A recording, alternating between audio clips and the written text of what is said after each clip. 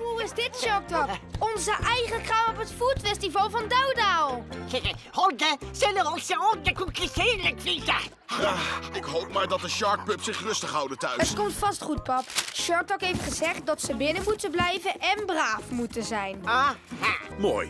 Ik weet niet of Doudal klaar is voor nog drie van die kleine Sharkgasten. Chill, pap. Vandaag wordt het geweldig. We zijn namelijk de enige kraam met... Hondenkoekjes.